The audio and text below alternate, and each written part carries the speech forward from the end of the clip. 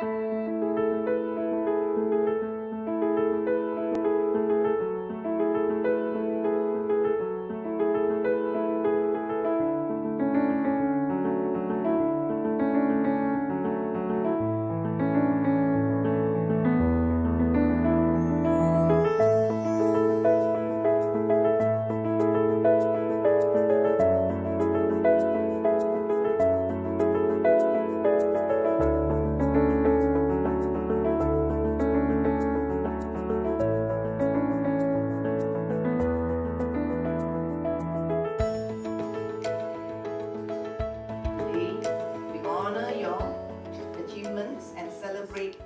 your success. Oh, another session that presents out uh, awards and prizes for the diploma and the degree students as well.